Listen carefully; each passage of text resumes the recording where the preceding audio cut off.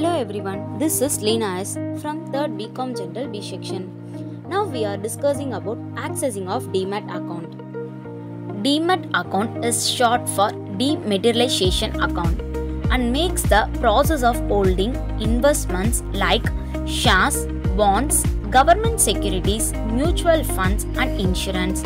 It doing away the hassles of physical handling and maintenance of paper, shares and related documents. In India, demat accounts are maintained by two depository organizations. One is National Securities Depository Limited NSDL and other one is Central Depository Services Limited CDSL. They are converted into electronic data and stored in computers by a depository.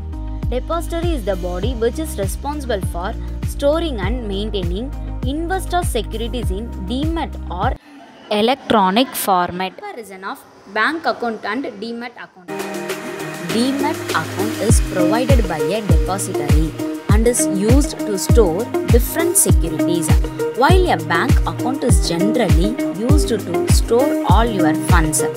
A demat account is related to the stock market, with a bank account generally associated with savings. Bank online transaction we should do UPI registrations.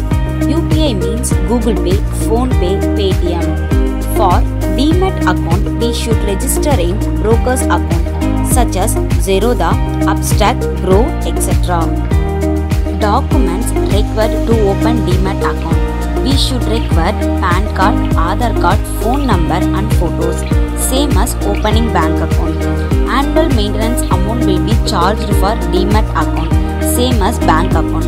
It's highly secured account so no one can hack our demat account. Role of shares broker account is same as connecting with friends through social media applications such as WhatsApp, Facebook and Instagram.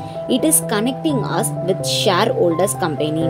For each share which we are buying and selling, there will be small One commission will be taken by this broker's of account. Account. It is lower transaction, it is high liquidity, share split and bonus shares automatically credited to account.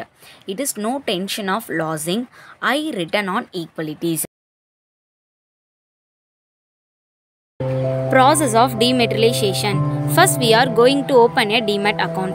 Next, filling up dematerialization request form is known as DRP. Verification of DRP. Making of dematerialization request by depository participant. Verification and approval of dematerialization by company. And last one is credit of shares in investors demat account. Documents required to open a demat account. First, proof of identity. Documents are PAN card with valid photograph, UID Aadhaar number, identity card or document issued by central or state government or its subsidiaries. Second, proof of address. Documents are UID Aadhaar number, passport, voter IDs, ration card or registered license or sale agreement of residence or driving license or flat maintenance bill or insurance copy. Third, proof of income. Current bank account statement stating the income history for the past 6 months. Fourth, proof of bank account. Cancelled check, first page of the bank account, passbook with photograph. Fifth, personal details, mobile number and email ID for OTP verification.